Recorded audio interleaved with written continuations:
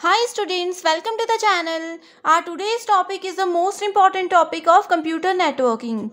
So here we are going to discuss the difference between OSI and TCP IP model.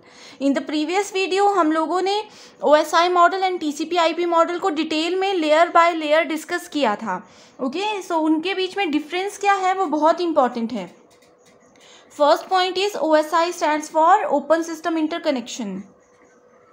Open system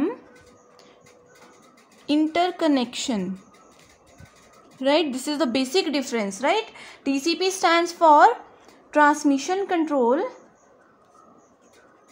transmission control protocol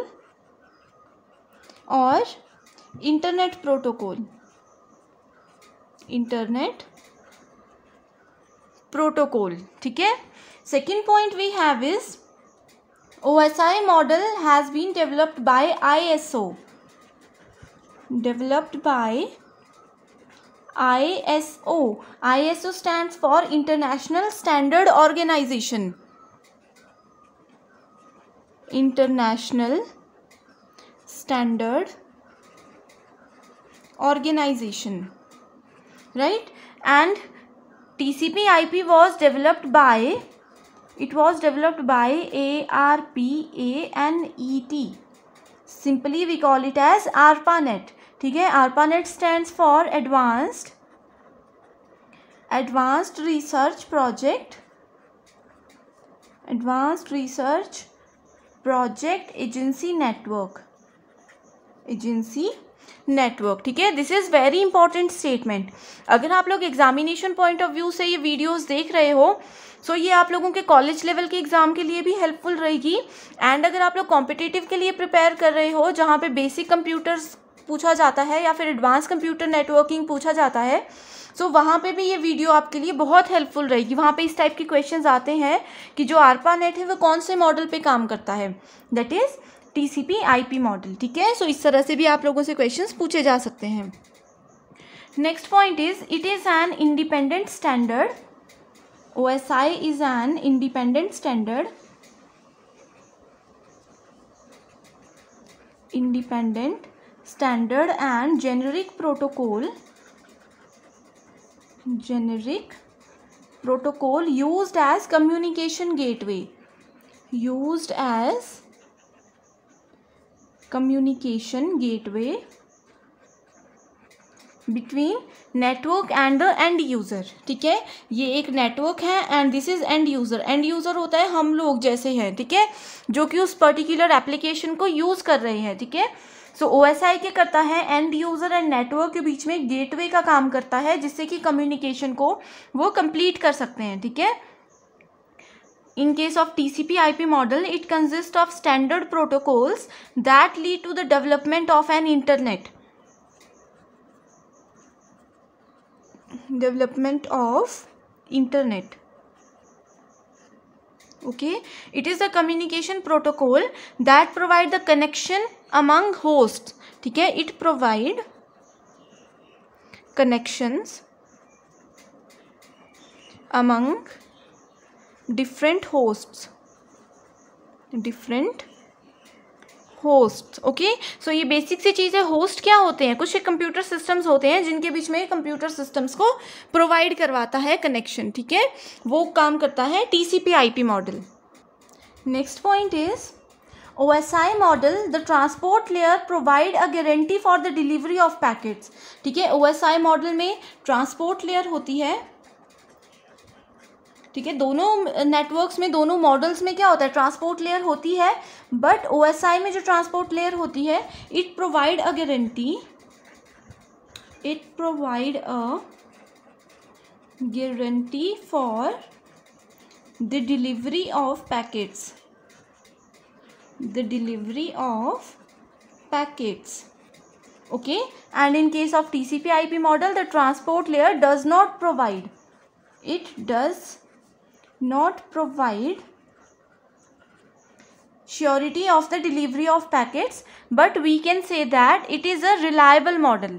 ठीक है? ये provide नहीं करवा, करवाती है डिलीवरी ऑफ़ पैकेट्स लेकिन फिर भी हम इसे बोल सकते हैं कि this is reliable system right next point we have is this model is based on a vertical approach it is based on vertical approach and जो टीसीपी आईपी मॉडल होता है, ये क्या होता है? ये हॉरिजॉन्टल अप्रोच को फॉलो करता है। हॉरिजॉन्टल अप्रोच को फॉलो करता है।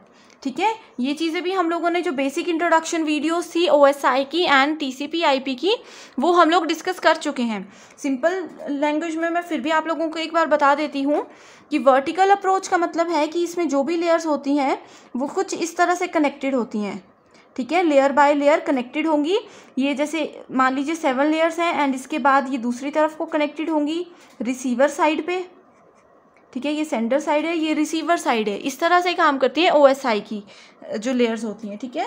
एंड इसमें एक चीज़ और याद रखनी है कि जो भी डेटा फ्लो करता है, ठीक है सेंडर साइड पे डेटा डाउनवर्ड डायरेक्शन में फ्लो करता है एंड रिसीवर साइड में अपवर्ड डायरेक्शन में डेटा फ्लो करता है। And T C P I P model में क्या होता है? हॉरिजॉन्टली कनेक्टेड होती हैं सारी की सारी लेयर्स इस तरह से, ठीक है?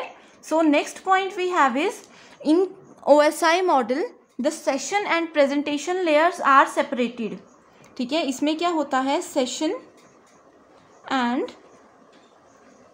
presentation layer presentation layers are separated ठीक है? यानी कि दोनों लेयर्स जो होती हैं, वो डिफरेंट होती है right but in case of T C P I P model the session and presentation layer are not different layers both layers are included in application layer ठीक है? यहाँ पे क्या होता है? Session layer plus presentation layer plus application layer ये तीनों को मिला करके क्या होता है? एक ही लेयर बनती है, जिसका नाम रखा होता है एप्लीकेशन लेयर ही। ठीक है? सो ये भी एक मेजर डिफरेंस है between O S I and T C P I P model ठीक है? नेक्स्ट हम लोग बोल सकते हैं कि जो ओ एस आई मॉडल है, इसको रेफरेंस मॉडल भी बोलते हैं। इसको हम लोग रेफरेंस मॉडल भी बोल सकते हैं। लेकिन जो T C P I P model होता है it is an implemented model of an I O S I model ठीक है? रेफरेंस मॉडल ये है एंड ये क्या है? Implemented model of an O S I model right next point is O S I model में हमारे पास कितनी लेयर्स होती हैं? सेवन लेयर्स होती हैं। ये बेसिक चीज़ है, इसलिए मैं इसे यहाँ पे लिख रही हूँ, ठीक है? इसमें क्या होती हैं? सेवन लेयर्स होती हैं and T C P I P model में we have only four layers right so in layers के नाम याद रखना बहुत इंपॉर्टेंट है एंड इन लेयर्स की sequencing is also very very important okay so O S I model में जो सेवन लेयर्स होती हैं, वो ये होती हैं फ़र्स्ट होती है application layer application layer then presentation layer presentation layer के बाद आती है session layer and then transport layer